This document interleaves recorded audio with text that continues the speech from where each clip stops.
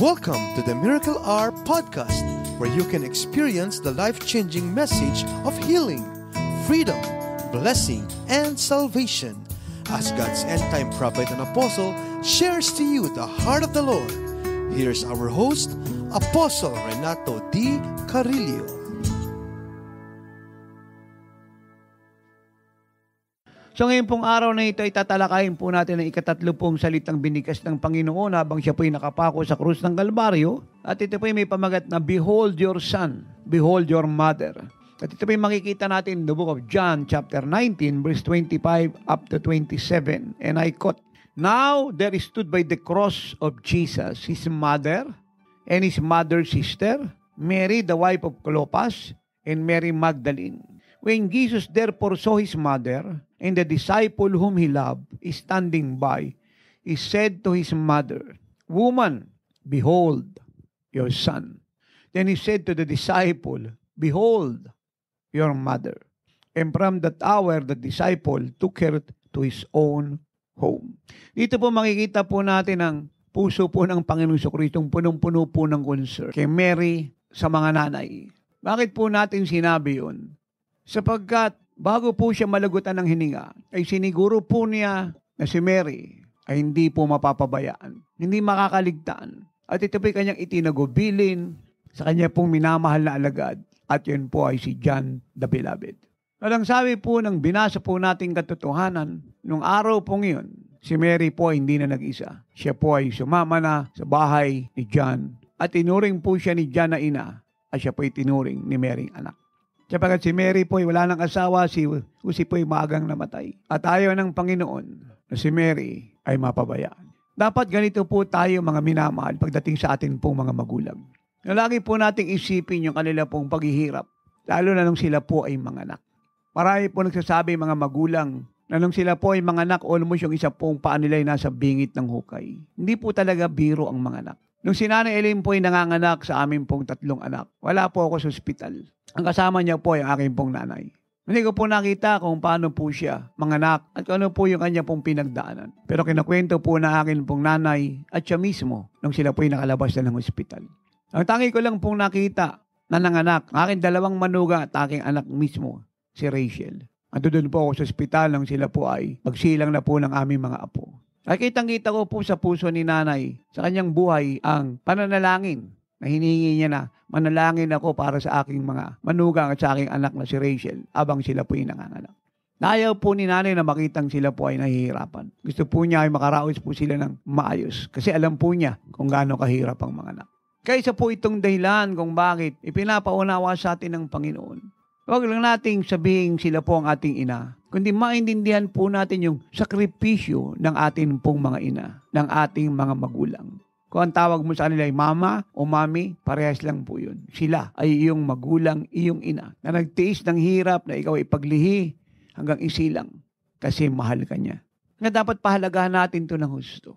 Bunga po ng bagay na ito, ibigyan po natin ng malaki pong respeto, pag-ibig ang atin pong mga ina. Lalo na po kayo, mapalad kayo kung meron pa po kayo mga ina ngayon. Namaga po akong naulila sa ama. Limang taon lang po ako nung ama ko po ay mawala na. Wala pong nag-aruga sa amin kundi yung aking ina, si Nanay Cora. Sa amin tatlong magkakapatid. Nakita ko po yung hirap na tiniis ng aming pong ina. Araw ginagawa niyang gabi, gabi ginagawang araw. Para po kami itaguyod. Hindi po biro. Nakita ko po yung kanya pong pagmamalasakit, pagpapakasakit. At ang sabi ko, ganun pala ang maging nanay. Hindi pala ganyan kadali.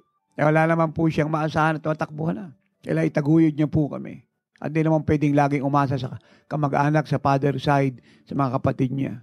She must raise us. At kadalasan, iba po sa inyo, ganyan din ang kalagayan. Pero imbis na tayo po magpasalamat po sa Diyos sa buhay ng ating mga ina, iba po sa atin, nagre-reklamo. Puno ng hinanakit, sama ng loob. Marami po tayong paliwanag, isa sa paliwanag natin, eh kasi hindi naman ako naaruga ng gusto, hindi ako nakatapos ng pag-aaral. Hindi ko natamoy yung mitiin ng puso ko. At kadalasan pa nga yung hindi dapat mapakinggan ang sinasabi natin, napabayaan ako. Hindi ko po hinanapan po ang aking ina ng ganyan. Hindi niya po kami na itaguyod po ng sobra sa dapat namin pong matamo. Hindi sumagi sa isip ko pong hanapin yun. Kaya nung tayo po ay pinagpala ng Diyos at naging lingkod niya at tayo sugo sa buong mundo. Pinili ko po yung akin pong nanay ay bigyan po ng kaligayahan sa buhay. Sa po na aking makakaya, ay binigay ko po sa kanya yung nararapat. Kaya nga lang, inanay ko po yung simpleng babae. Mas gusto niya po mag-pray, magbasa ng Bible, mag-share kaysa mga ibang bansa. Kasama namin siya sa Amerika, ayaw niya. Kasama namin sa Europa, ayaw. Binibili namin ng mamahaling gamit, ayaw niya, gusto niya simple lang. Bibigyan ng magandang tahanan, ayaw niya, gusto niya simple kasama kami. Ang tanging niya lang pong bansang napuntahan ay Hong Kong. Pero ayaw niya pa pong tumagal. Gusto niya pong bumalik ng Pilipinas kaagad. Hanggang aking pong ina ay umuwi sa Diyos, 80 plus po siya. Maliwanag ang muka. Hindi mo kinakitaan ng karamdaman. Nilihan pa si Rapi, pinag-pray pa, binigyan pa ng prophecy. At bigla na lang po siyang pumikit ng mata at umuwi na po sa Diyos. Napakarami po na pagpala sa buhay ng aking nanay. Na maaaring ang inyong pong mga ina, hindi po ganyan, kagaya ng aking ina. Masyadong godly, dedicated, committed sa Diyos. Pero hindi po ground para siya po inyong i-disrespect, hindi igalang, alimurain, pagwikaan ng pangit, paghanapan ng paghanapan ng higit sa kanya pong kakayahan. Umari naman ang inyong pong ina ay sobra sa aking ina. Paring kayo po napakayaman, lahat ng luho niyo po naibigay ng bata kayo, nakapag-aral kayo sa eskwela, gusto niyo sa ibang bansa. Nakasakay kayo sa mga sasakyan gusto niyo sakyan. Naisuot niyo yung kasuotan gusto niyo isuot. Nakain niyo yung pagkain gusto niyo kainin. Pero maaari ang ilang pong pinagpasalamat ay yung mga luhong tinanggap ninyo, hindi po ang inyo pong ina mismo. Alam mo ba ninyo na mas gusto po ng mga nanay natin na marinig sa labi nating mahal natin siya. Ano man siya, ano man meron siya. Gusto po niya na alalahanin natin siya hindi lang pagkaarawan niya, may okasyon, o Mother's Day, kundi bilang ina ng kanyang mga anak na nagluwal sa atin. Namadama po niya yung malaki pong pagpapahalaga natin sa kanya. Na kahit pa paano sa ganito pong bagay, mapaligaya natin ang puso nila. So, alam niyo po, ang pera po, secondary lang yan.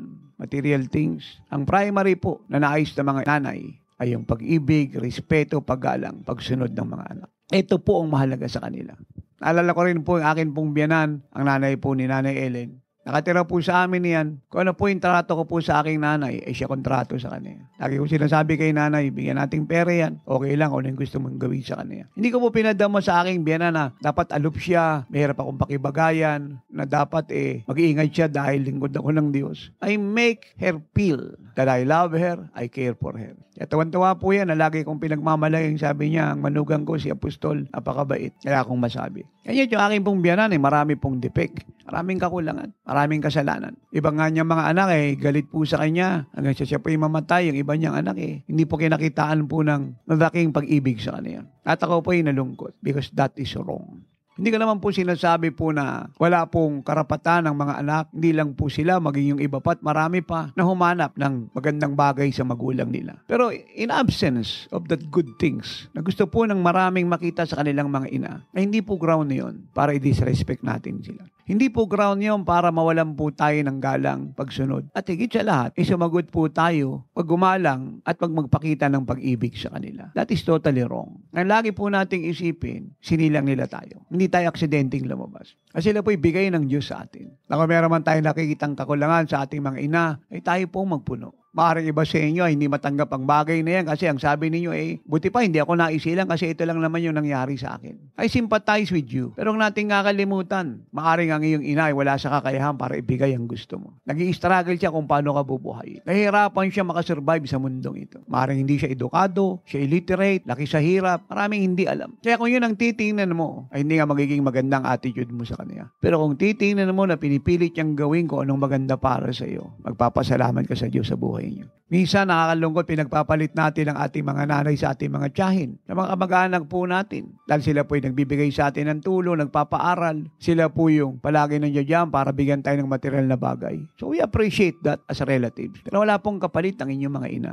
Wala po siyang kapalit. Wala pong pera sa sakyan, bahay at lupa na ibibigay ng tiyahin po natin o kapatid ng mga nanay natin sa mother side at father side. Ang higit sa katotohanan, isa lang ang nanay mo. Ang mga tiyahin mo, hindi silang nagsilang sa iyo. Yung pera at kotse at pag-aaral na ibinigay nila sa iyo, hindi na nagsilang sa iyo. Hindi na nagbigay ng buhay sa iyo, but your mother. Kaya, pag tinimbang po natin ang buhay po ng marami, meron po mga kabataang maagang namamatay, magulo buhay. Meron naman pong, ang edad po ay napakahaba. Nabubuhay po ng matagal. Ano pong pagkakaiba? Ito po ang pagkakaiba. In the book of Exodus 20, verse 12, ito po ang ikalimang utos sa tinatawag po nating the Ten Commandments. At dito po nakasaad, Honor your father and your mother, that your days may belong upon the land which the Lord your God is giving you.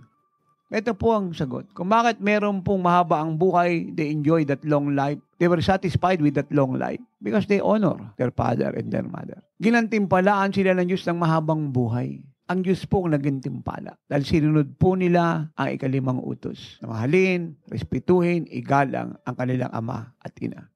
Noong Old Testament po meron pong batas na ibinaba ang Diyos through Moses. At ito po ay batas sa ayaw po ng marami sa panahon natin ngayon. Ano po yung batas na yon? Ang sino man daw pong maglalapas tangan sa kanyang mga magulang ay babatuhin hanggang mamatay. Kamaring masabi ninyo, di ba ang Diyos ay pag-ibig? Bakit mag-uutos siya ng ganon? Sapagkat pag tayo pa nag-disrespect sa ating pong mga magulang, pag tayo pa nag-disrespect sa ating mga magulang, we disrespect God. Directly, we are saying to God, as we disrespect our parents, our father, and our mother. Nagkamali ka ng binigay sa aming magulang. Hindi mabuti yung binigay mo, hindi maganda yung ginawa mo. Ayaw namin nun. And God is so much heart and grief.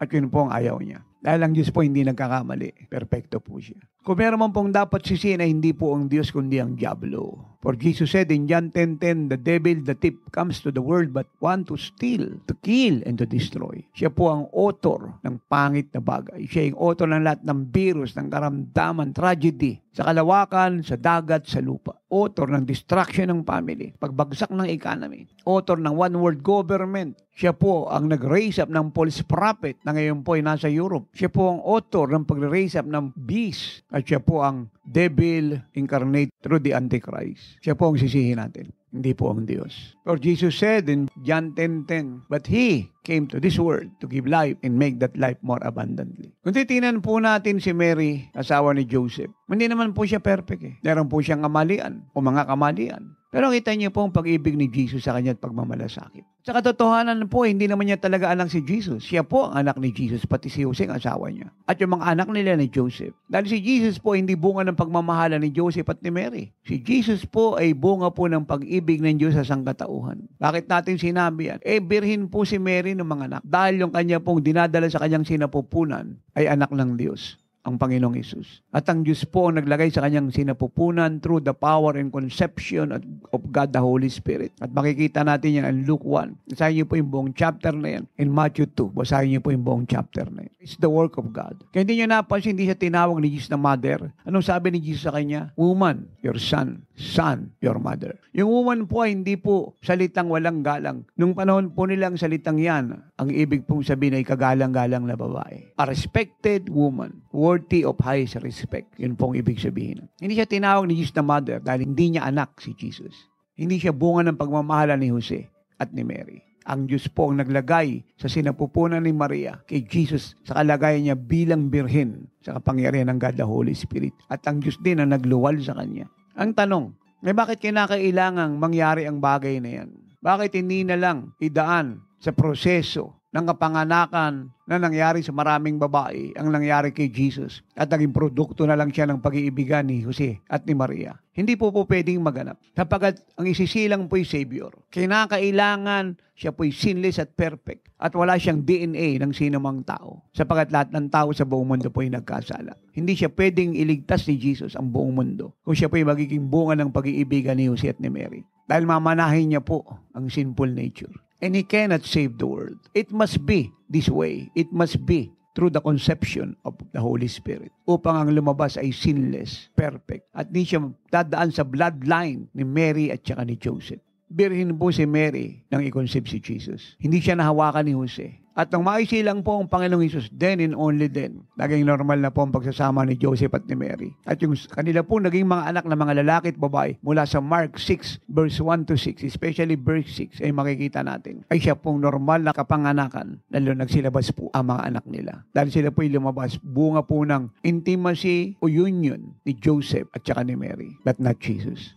And yet, naintindihan niyo na po ang katotohanan, dito niyo makikita kung gaano pagkalaki ang pagpapahalaga ni Jesus sa isang ina. Hindi po niya ina si Mary. Siya po ang creator ni Mary, savior ni Mary. At ito po yung maliwanag na kinanta ni Mary in Luke chapter 1. Ang sabi po niya, I think it was verse 41 to 42. My soul magnifies the Lord. My soul rejoice in the Lord my God, my Savior. Yun po ang sabi ng Luke chapter 1 verse 46. And Mary said, My soul magnifies the Lord and my spirit has rejoiced in God my Savior. Verse 48. For he has regarded the lowly state of his maidservant. For behold, henceforth all generations will call me blessed. Ang tawag po ni Mary sa sarili niya ay maidservant. Ang Savior po niya ay ang Panginoong Isus ang Diyos. Ito ang minagnify niya. At yun po ang buong kabuuan ng kanyang kanta. You can read that by yourself. Luke 1, 46, 47, and 48. At di rin sinabi ni Mary na siya po ay blessed more than any women kundi siya po ay blessed among women. Mary is blessed among women, not above women, among women. Sinabi po ng Luke verse 42, chapter 1. Then she spoke out with a loud voice and said, Blessed are you among women. You hear that? And blessed is the fruit of your womb. Blessed are you among women. Blessed are you among women, and blessed is the fruit of your womb. Si Elizabeth po na, ina ni John the Baptist ang nagsabi nito. Ang dinalaw po ni Mary si Elizabeth. Blessed are you among women, not above. Hindi Intindihan niyo po ako mga minamahal. Hindi po ina ni Jesus si Mary. Ang Diyos po ay wala pong ina, pero ang Diyos po ay gumawa ng maraming ina. At isa na po rin si Mary. At ito po mga babaeng nakatayo po sa tabi ng cross. Sino-sino po yun? Si Mary, asawa ni Joseph, yung kanyang kapatid na Mary din ang pangalan. Si Mary ang asawa po ni Clopas at si Mary Magdalene. Apat na Mary. Lakatali, ito pong si Mary na asawa ni Clopas. Tinatawag din po itong Salome. So I pray na maintindihan niyo po ang sinasabi ko. You must love your mother mother as God loves your mother. Hahaba ang buhay mo. Nakita ko po ito sa napakarami na na-encounter po natin. Grabe po yung pag-ibig sa ina nila. Tatrabaho sa ibang bayan para sa ina nila na ayaw nilang mahirapan, magutom. Yung kanila pong sweldo ay para sa pagpapaligaya ng kanilang magulang. At nakita ko po, God bless them. God prosper them. God protect them and God give them long life.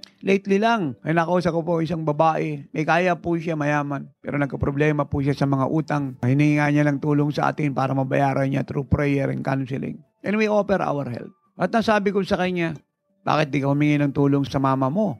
Eh, mama niya po ay mayamang babae. Sabi niya, hindi ko nagagawin apostol. Ayoko bigyan ng problema yung mama ko. Matanda na siya. Gusto ko na sa kanyang katandaan, lagi siyang masaya. Ganyan po tayo dapat mag-treat ng atin pong mga ina. Lalo-lalo na pag sila po yung nagkakaedad na. Hindi nila kailangan po ng panlilibak, pag-aalimura, pagmumura, pagdadabog, kawalan ng galang, at sagot tayo ng sagot. Pinangungunahan natin ang ating ina, tinuturuan natin, hindi natin nirirespeto sa harap ng maraming taong sinasagot po natin.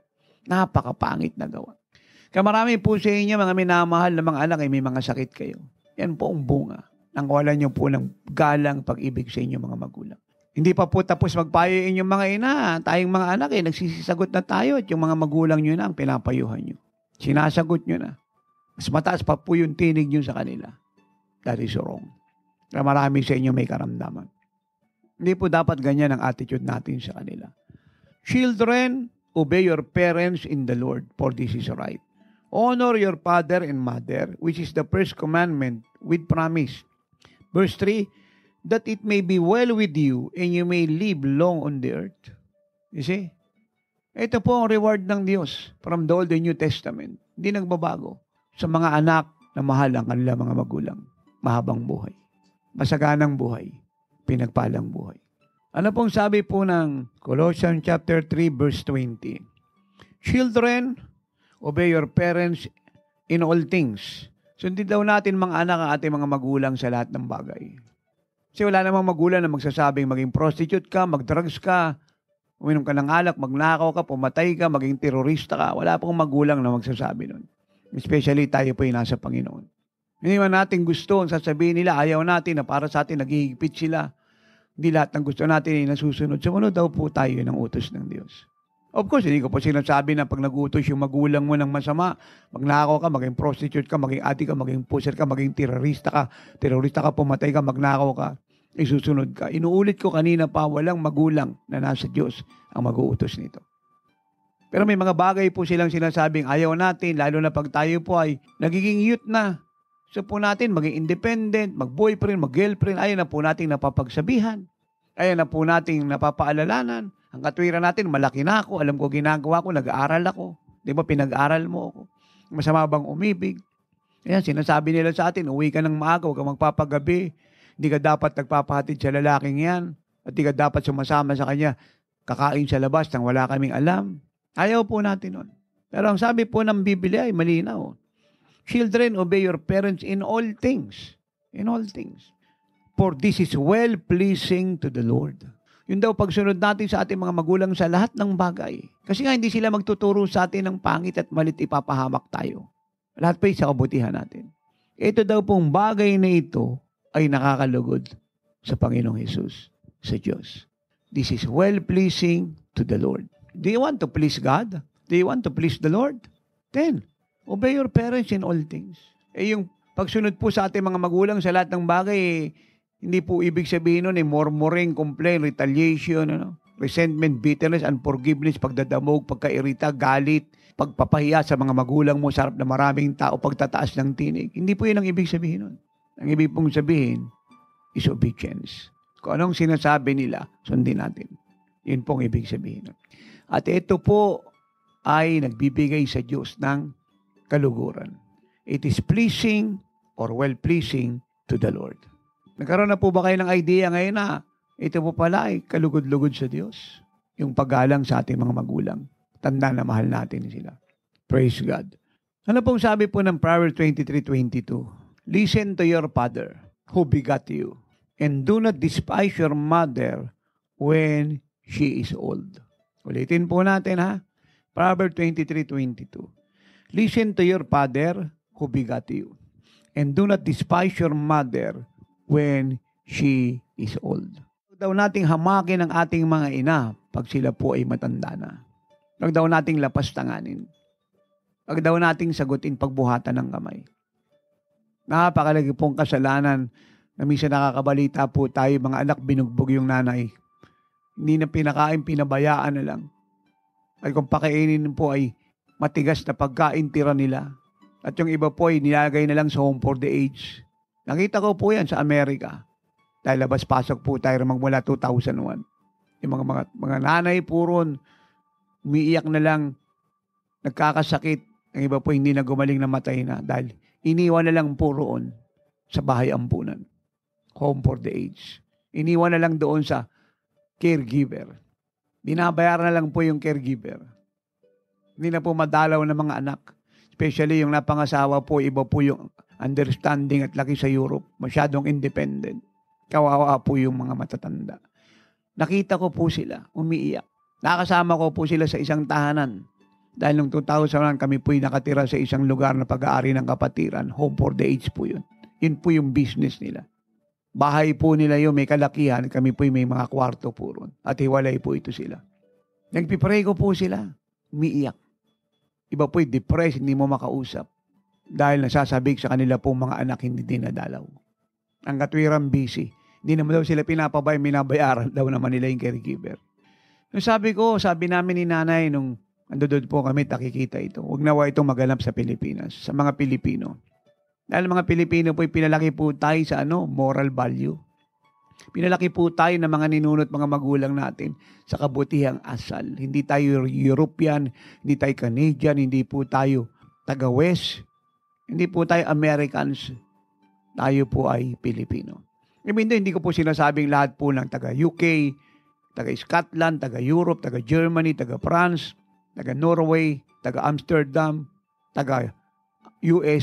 ay ganun lahat. Pero may mga kaso pong ganun. Dahil yung nga po upbringing nila. Tayo po mga Pilipino, hindi pinalaking ganun. Nababago lang po ito pag kristyano na po ang marami sa mga bansang binanggit ko. Naalala ko po yung kaibigan ko pong seaman na nakapag-asawa ng nurse na nag-migrate sa US noong 1993. Tayo nga po yung napapunta po ron. Sila po yung nakatira sa Houston, Texas. Siya po yung may gustong ako po yung pumunta ron dahil siya nga po yung best friend ko. Ako nga po yung leader nila. Kasi kahit seaman, pag bumaba na ng barko yan at na-standby, wala na pong pera yan eh. Dalawang buwan lang po ma-standby, ubus na pera niya. Ako na po nabuhay sa kanilang lahat. Doon po kami tumira sa bahay nila. Meron siyang dalawang anak na babae. Nakakagulat. Gwento niya po sa akin, pag yung mga anak puro na 18 ang edad, hindi na pwedeng pakialaman ng mga magulang, hindi mo pwedeng paluin, hindi mo pwedeng sigawan, hindi mo pwedeng saktan. Husgado pupuntahan. Independent na po sila. Umihiwalay na sa mga magulang. Bahala na sila sa buhay nila. Ganyan din po sa Japan, even though pag kristyano na ang pamilya, hindi na po ganon. Pero marami po ay ganyan pa ang asal. It's wrong. Hindi po yun ang batas ng Diyos. Dapat hanggang makarating sa langit ang ating mga ina, ay hindi tayo independent sa kanila. Maring tayo po yung nakahiwalay kasi may pamilya na tayo, may sarili na tayong pamilya. Pero hindi tayo independent kahit malayo tayo sa kanila. We maintain our relationship with them, our love, na kahit malayo, they feel that. Through message, call, sending gifts, greetings, prayer, fasting. At higit sa lahat, pag sila po'y nag-utos ng mabuti para sa atin, obedience. Hindi, pag matanda na, sasaktan mo na. Kasi hindi na makaganti. Ang katwiran pa nga po ng iba, ngayon ako namang gaganti sa iyo. Nang maliit ako, pinapalo mo ako, sinisinturon mo ako. Ngayon, matanda ka na, wala ka lang kakayahan. Ako naman ngayon ang mananakit sa iyo. Napakapangit po nun. Dami ko pang nababalitaan, sinasaktan yung mga ina. Pag sila po'y pinagbabawalang mag-drugs, uminom ng alak, manigarilyo, na huwag maging bakla kasi lalaki sila, huwag maging tomboy kasi babae. Sinasaktan nila magulang nila, minumura binubulyawan. Kaya po yung buhay ng marami po ay maaga nawawala, namamatay po sila sa murang gulang. Hindi po yun ang utos ng Diyos. Listen to your father who begat you and do not despise your mother when she is old. The more na nakakaedad na po ang ating mga ina, ang ating mga ama, ang ating mga nanay, the more na mahalin natin sila. Na kahit malayo po sila, communicate to them. Send greetings.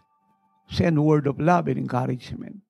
Hindi natin kinakailangan maging milyonaryo para magdala ng pasalubong. Ano po yung kaya natin? Sa gitna ng kalagayan natin, i-appreciate nila yan. Nagpapakitang mahal natin sila. Naku po yung puro pera, puro pera. Pag di na ibigay yung gusto, nagdadabog na kasi mangot. Sumasagot, walang galang. Napakapangit po nun. Especially kung sinasabi mong kristyano ka at nagtuturo ka. Napakapangit. Dapat hindi po yan makita sa bahay ng Diyos. Yung ganyan pong kapangit na attitude, behavior, character ay hindi dapat makita sa mga anak ng Diyos, sa bahay ng Diyos, sa tahanan ng isang pamilyang kristyano, especially nagtuturo ka. Napakapangit. Ayaw ng Diyos. God hate it so much. Question.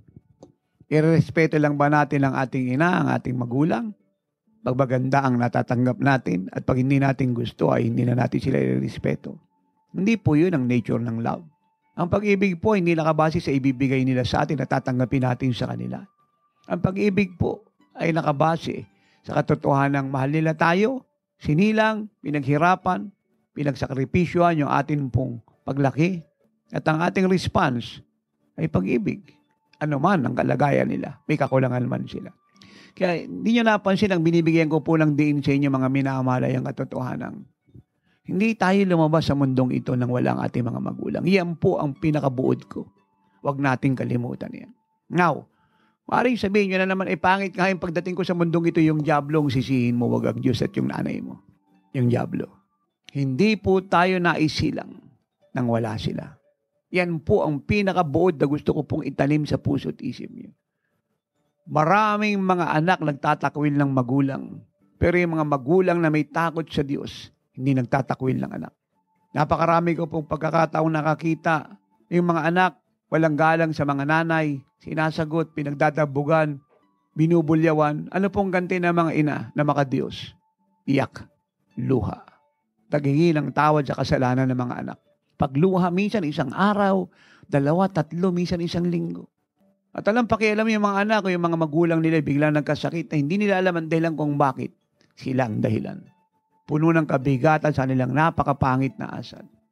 Ito po yung gusto ko pong ibaon sa puso niyong lahat mga anak. Yung nagpakahirap ang inyong mga ina para buhayin kayo. Mula sa sinapupunan hanggang pagsilang hanggang sa inyong paglaki. At kadalasan nga kahit may asawa na kayo, may mga anak na kayo, yan pa rin ang trabaho nila. At alam ni Nanay Ellen ang sinasabi niya, totoo po yun. Laging sinasabi ni Nanay Ellen, ang nanay kahit anong gawin mo, nanay. Tapos tanganin mo siya, sagutin mo, bulyawan mo. Huwag mong gantihan ng masama. Huwag mong irespeto. Nanay pa rin siya. Ibig pong sabihin, aako pa rin ang tungkulin. Magmamahal pa rin, magpapatawad pa rin, magsasakripisyo pa rin. Ang mithiin pa rin ay kaligtasan ng anak na matigas ang ulo. Yan po ang nanay. Sana ang dalangin ko, may nanay pa kayo. Mahalin niyo po sila. Kung nanay ko po buhay pa, siya po sana umabot ng 100 plus, Ibigay ko po sa nanay ko ang pinaka-the best. Na hindi ko po nagawa no ako po'y bata pa. Kasi nung kabinataan ko po eh, sa edad ko po na sampung taon eh, laking kalsada na po ako. Ang ako po ay magkaedad ng labing lima. At bago lang po ito nang tayo nga po ay magsimula magnegosyo. Naalala ko po yung nanay ko noon. Lagi po siya nagluluto, naglilinis ng bahay. Lagi niyang sabi sa akin, anak, yung likod mo, huwag mo pabayang maputuyuan ng pawis. Ano po yung sinabi sa inyo ng inyong ina na minahal ninyo, tumimo sa puso nyo, pagpapakita ng pagmamalasakit sa inyo. May naalala ba kayo?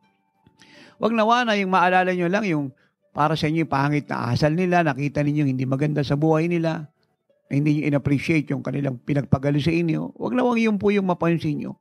Dahil marami silang ginawang mabuti sa inyo. Yun po ang tinatanong ko. Ano po ang naalala nyo? Sa dami ng ginawa ng inyong ina sa inyo, bakit doon kayo magduduel na para sa inyo pangit at hindi nyo gusto? Wala ba siyang ginawang maganda? Hindi ba yung ikaw ay ipaglihim? Mahirap na trabaho yan. Di ba magandang bagay yan? Isilang ka, mula paglabas mo, nasa tabi ka ng ina mo, pinapasuso ka. Ayaw kang malamukan, maarawan, malangawan. At pinipilit bumangon para lamang timplahan ka ng gatas habang ang ama mo'y nagtatrabaho at naghahanap buhay maring sa ibang bansa. Sino umako ng lahat ng tungkulin? Your mother, your mama, your mommy.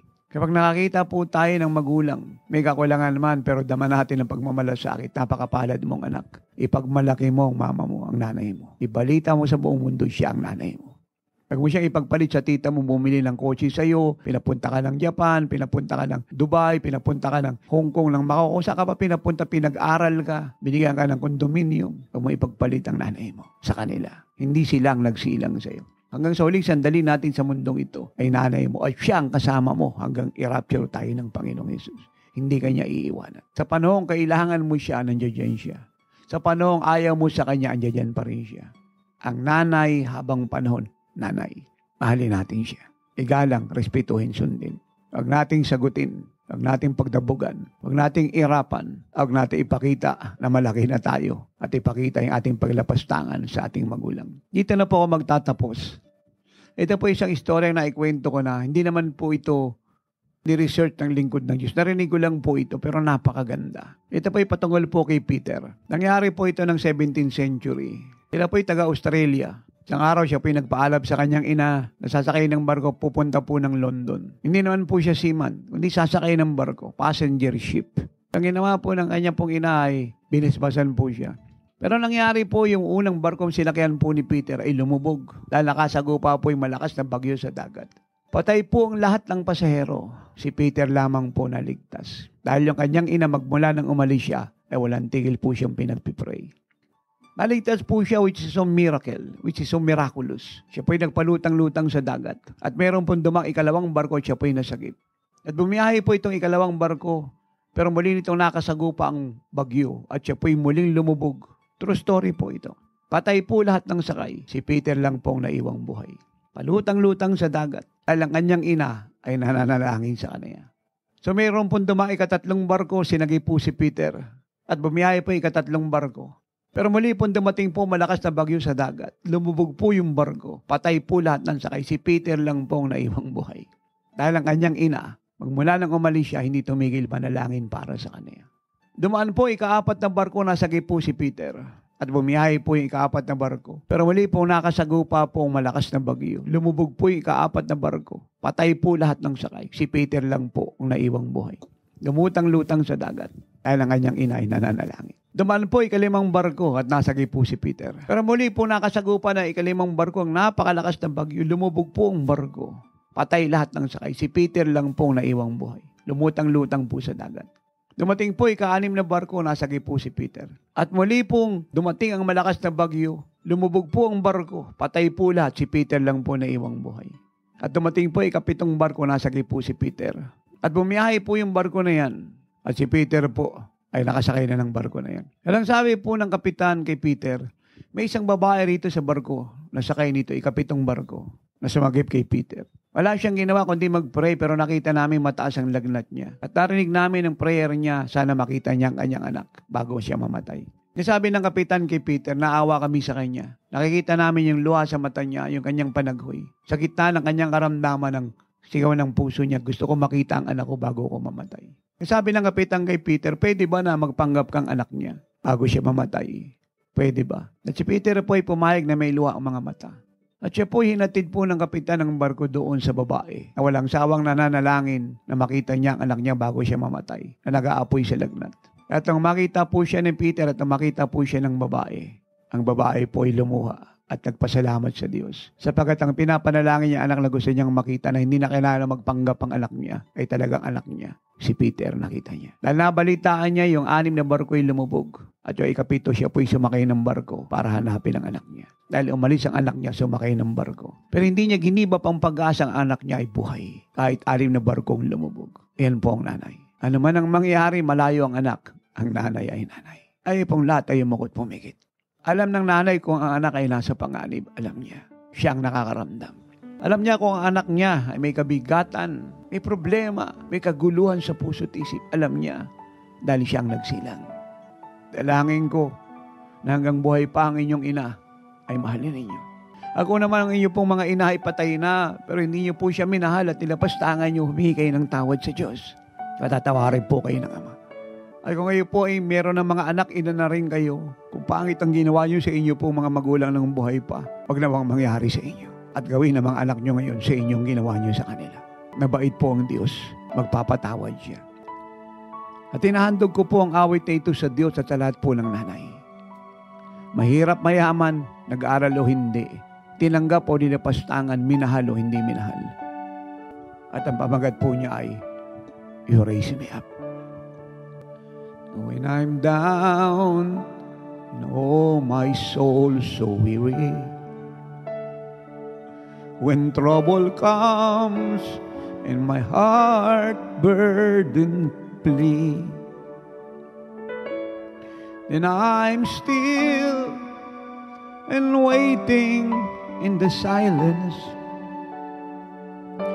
until you come and sit a while with me. When I am down and oh my soul so weary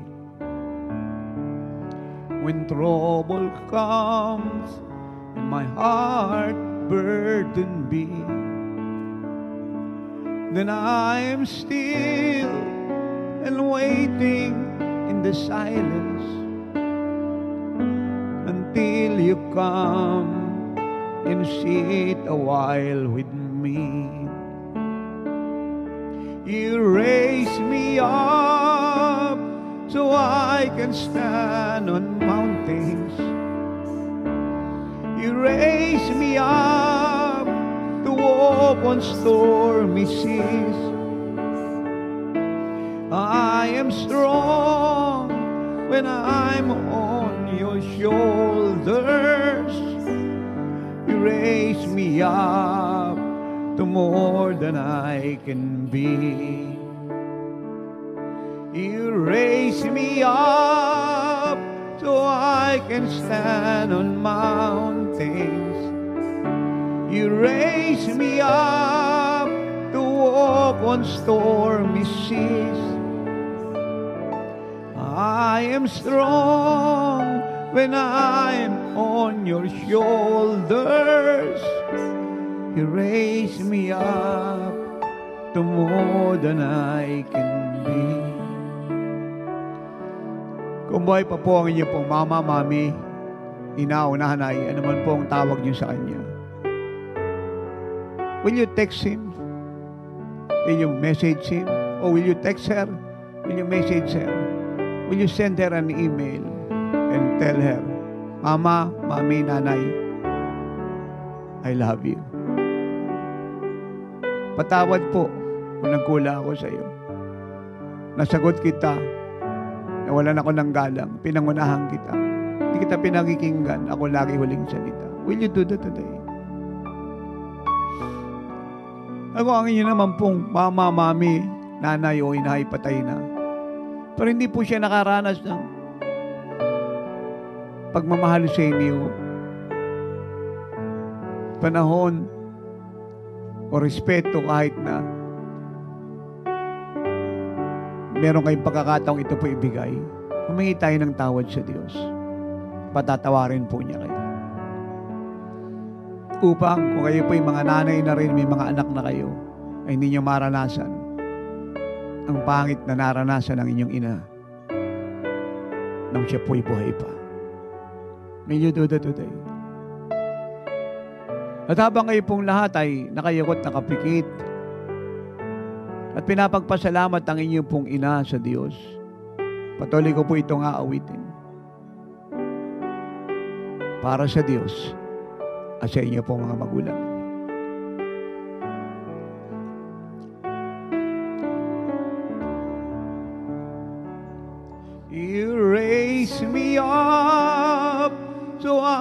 Stand on mountains. You raise me up to walk on stormy seas. I am strong when I on your shoulders. You raise me up to more than I can be. You raise me up so I can stand on mountains. You raise me up to walk on stormy seas. I am strong when I on your shoulders. You raise me up to more than I can be. In addition, naipanalangin mo ba ang iyong magulang? Kung nakakita ka ng ayaw mo at di mo gusto sa iyong paningin, have you pray for her? Have you thank God for her life or not? If it is not, then may pagkakataon ka pa minamahal. Ito ang mensahe ni Jesus sa lahat ng anak. Son, behold your mother. Ikatatlo pong salitang lumabas sa bibig ng Panginoon. Pag-ibig, pagpapahalaga, respeto, paggalang sa iyong ina. Sa iyong magulang na babae. Son, behold your mother. Tayo pong lahat ay manalangin. Sabihin natin ito. Ama, natawad po. Hindi ko minahal. Ginalang. Nirespeto. Pinagpitagan ng buong puso at buo kong katauhan ang aking magulang na babae. Ang aking ina. Natawad po na marami kong minomormor, kinocomplain, dinidisobey.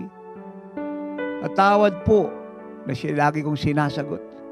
Pinag-iwikaan sa harap ng maraming tao. Napakalaki ng kasalanan ko sa harap mo at sa aking magulang. Natawad po na hindi ko naipadama yung pag-ibig na kailangan nila. Malaking respeto na tangi kong maisusukuli sa kanila. Dahil yung kanilang pag-aasikaso, pagsilang sa akin, pagpapalaki, sakripisyo, ay hindi kayang bayaran ng pera. Ang tangi kong maibibigay sa kanila ay pag-ibig ko, respeto, paggalang, pagsunod. At ano man ang kakayahan ko ay pag-alala sa pamamagitan ng mga munting kaloob na kailangan nila tanda ng pasasalamat ko sa buhay nila. Kung buhay pa po ang inyo po mga magulang, hingi, hingi, humingi po kayong tawad sa kanila. Humingi po kayong tawad. Simulan nyo na po ngayon. At para hindi po kayo mahirapan, sumunod po kayo sa panalangin ito. Amang Diyos, napakalaki ng kasalanang nagawa ko. Gusto ko po magbago. Walang makakapagbago sa akin maliban sa iyo, Panginoong Hesus. Ako'y sumasampalataya na ikaw ang Misaya. Namatay ka sa krus ng Galbaryo. Nabuhay na maguli. Ngayon ay pabalik na para iligtas ako at ang sangkatauhan. Panginoong Hesus, pumasok ka sa puso ko ngayon. Pagharian mo ako, tinatanggap po kita bilang personal kong Diyos, Panginoon, tagapagligtas at manggagamot ng aking buhay. Salamat po sa kaligtasang tinanggap ko ngayon. Nananatili ako sa iyo. At mula ngayon, mamahalin ko na, respetuhin, igagalang, susundin ang aking ina. Dahil ito'y kalugod-lugod sa iyo. Upang magtagumpay ako sa buhay at humaba ang aking buhay. At sa aking pagkakaroon ng sariling pamilya, ay mapalaki ko ang aking mga anak sa tamang panuntunan at wag nang maulit pa ang mga karanasan na naranasan ng aking ina sa buhay ko manakalipas na panahon. Today, I will become an obedient daughter, an obedient son. Will you open your mouth at sabihin niyo po sa inyong mga ina, sa inyong mami, sa inyong mama, how much you love them. How much you appreciate them. At mabuhay po tayong walang guilt at walang condemnation because the blood of Jesus cleanse you from all your sins. Ako po'y naniniwalang nagsisikay ng buong puso. Now this is the time para punan po ang kakulangan. And the Lord will bless you for that. And in long life, He will satisfy you. And He will show you His great salvation. Amang Diyos na may gawa ng langit at lupa, pinagpapala ko po ang mga nanay. Lalo-lalo na po, O Diyos, ang nalulungkot. May sugat sa puso, may karamdaman, may kabigatan sa mga anak na laging naluha sa gabi, na abandon, na ilagay sa home for the aged, napabayaan. May mga anak na mayayaman pero hindi po sila binigyan ng biyaya. Hindi kinalinga, hiniwalay.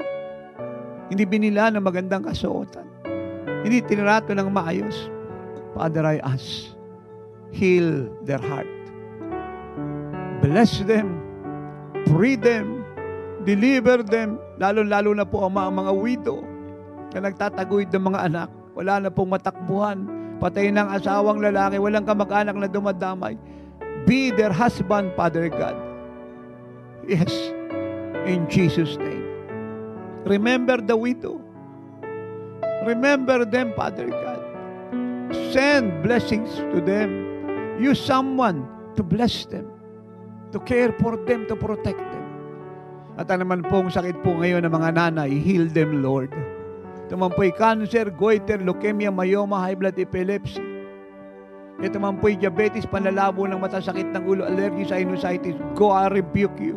Ito man po ay tumor sa utak, cancer sa dibdib, ito man po, Diyos, ay sakit sa atay sa lapay, mamatay ka, malusaw ka. Ito man po, goiter, die in Jesus' name. Iwanan mo mga nanay, iwanan mo may mga karamdaman, iwanan mo ang pamilyang kristyano. Go! Get out of their life, get out of their family in Jesus' name. And I decree, lahat ay hinila ng Diyos. Ang mga magulang, ang mga nanay, ay pinagpala niya na. Taas niyo po ang inyong dalawang kamay, begin to praise God, begin to thank God. Ay kung katabi mo ang nanay mo, hug her please. Kiss her. Tell her, I love you mama. I love you mommy. I love you nanay. Kung malayo sila, call them, text them, message them, email them, and tell them, I love you. Malaki pong kagalakan sa kanila yan. At lahat po tayo magtaas ng dalawang kamay. As I close in singing, you raise me up.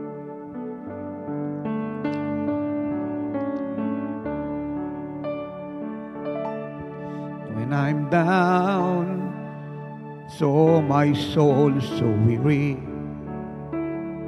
When troubles come, my heart burdened bleed. Then I'm still and waiting in the silence until you come and sit a while with me when I'm down, so my soul so weary. When troubles come, my heart burdened. But then I am still and waiting in the silence until you come and sit a while with me. You raise me up so I can stand on mountains. You raise me up to walk on stormy seas. I am strong when I'm on your shoulders. You raise me up to more than I can be. You raise me up so I can stand on mountains. You raise me up to walk on stormy seas. Oh, I am strong when I'm on your shoulders. You raise me up to more than I can be. You raise me up so I can stand on mountains. You raise me up to walk on stormy seas. No, I am strong when I'm on your shoulders. You raise me up to more than I can be. You raise me up to more than I can be. At ang biyaya ng Diyos ay sa inyong tahanan habang panahon at selyohan ng Diyos ang kaligtasan ninyo hanggang bumaba ang Panginoong Yesu Kristo. Receive it now. And all God's people say, Amen and Amen. Thanks for listening to Miracle Hour podcast. If you are blessed with our program and want to know more about the Lord, like us on our Facebook page at www.facebook.com slash JIOSWM and subscribe to Jesus is Our Shield Worldwide Ministries YouTube channel. Our time is running out. Jesus is coming any moment. Apostle Renato Di Carrillo is mandated by God to bring the church to its full potential and to live like Jesus. Have a part in this end time move of God. Pray, fast, and give to the work of the Lord. To God be all the glory.